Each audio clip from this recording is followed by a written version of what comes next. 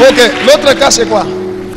Le deuxième cas, c'est Oui. une maman qui vous consultait au téléphone. Elle est là, s'il vous plaît, maman. Oui, maman. Oui. Uh, merci pastor.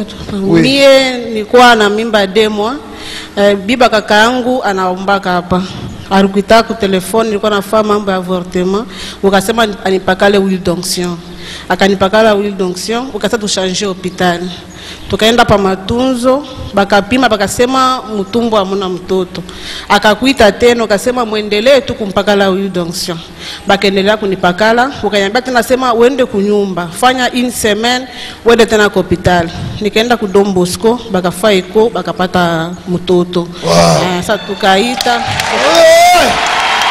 Ah. Jésus est Seigneur, acclamons Jésus. Ah.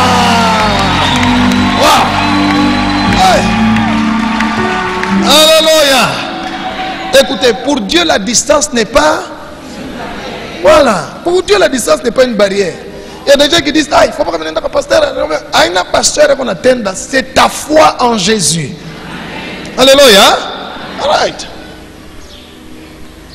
Sasa unakuja nifanye nini tena? Nikuombee? ulisema tukuye nikuye tena nirudie paske hapa mimba nakuwa simu elimi mtoto eko na bouge njo Acclamons Jésus. Ah. Alléluia. Ok. Ça va, takuombea. Utasala bien, ne t'en fais pas. Euh, et il n'y aura plus jamais d'avortement dans ta vie au nom de Jésus. Hein, maman? amen Ok, Kouya. Seigneur, merci pour ce miracle.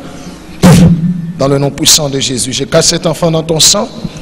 Je déclare et j'annule la malédiction d'avortement dans la vie de ma sœur. Il n'y aura plus jamais d'avortement. Au nom de Jésus. Elle appartient à Jésus-Christ. Et cet enfant et les autres qui viendront. Merci Seigneur, j'ai béni son accouchement. J'ai béni la croissance de cet enfant. Au nom de Jésus. Gloire au Seigneur. Amen.